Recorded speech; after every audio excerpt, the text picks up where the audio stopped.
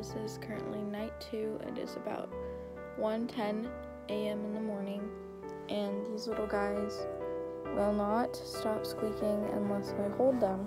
And it is almost their time to eat, um, in about like five to ten minutes. But uh, you can tell they're sleeping. But as soon as I put them back down, they're gonna start squeaking again. Um, so yeah currently heating up their heating pad. Night two, everything seems to be going pretty good. Except this little one in the front, right here, is all crispy because it got milk on its body and the milk got crispy. But here they are, they're sleeping. So cute. Hi guys, it is currently just about 1 in the morning and we are feeding the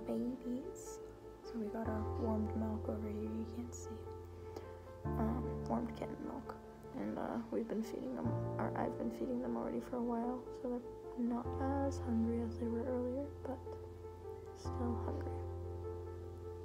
You can see them doing little suckles. Oh. Twitching. Then after we feed them, we will help them go potty by getting a Q-tip and rubbing them with a moist, warm, moist Q-tip. So we'll show you that in a sec.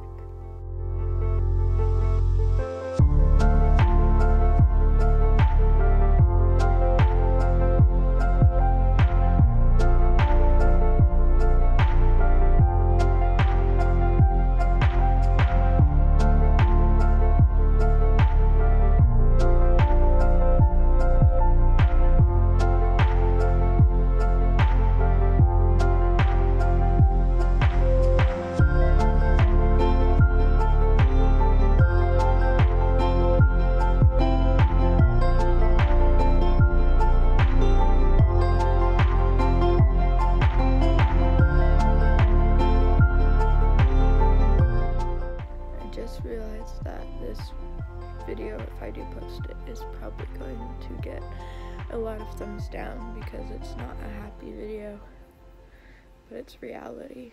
And um, it is about. It's 2 in the morning, and I'd say around 118, um, the other mouse died.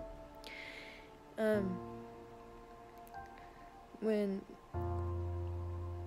a while before I noticed she wasn't eating, so I gave her some more time, about three hours. Because once they open their eyes, you can wait three to four hours to feed them. So after three hours, I went to try again, and she wouldn't eat again. So I said I'll, I'll do it in an hour, or not even an hour. In 45 minutes, I'll go and try again. And I kept checking on her during that 45 minutes and um the first time I checked on her she was fine. The second time I checked on her she was fine. And the third time about 18 minutes before I was supposed to get up and feed her I checked on her and she wasn't alive anymore.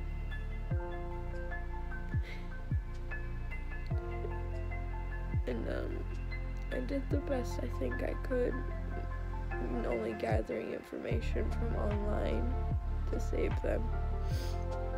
Um,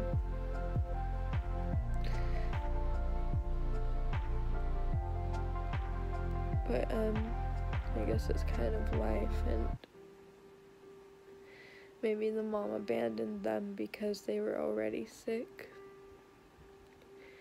But I gave them that chance, and I gave myself a an experience experience, I guess. Uh yeah,